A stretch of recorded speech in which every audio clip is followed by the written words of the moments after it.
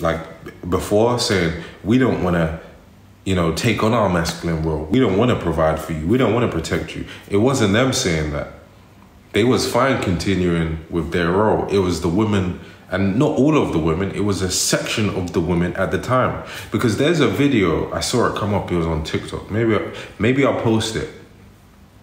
But they was doing street interviews like in the 70s it was in the uk and the street interviewer or whatever was asking um, was asking women on the street, what do you think of this feminism movement? Blah, blah, blah. Do you feel like, you know, women should be doing what the men are doing? Blah, blah, blah. And they were saying, no, I don't, I don't agree with that. I don't think that makes sense. Blah, blah, blah. Like, we want our man to be the head of the household, all of that. So that tells me that it wasn't all women of the time, but it was the most, it was the women who had a lot of influence at the time. Now, I believe, and this makes sense to me, that the state, the government, and so on just gave more power to that small section of women. Feminism, because it makes sense. It helps to divide the home.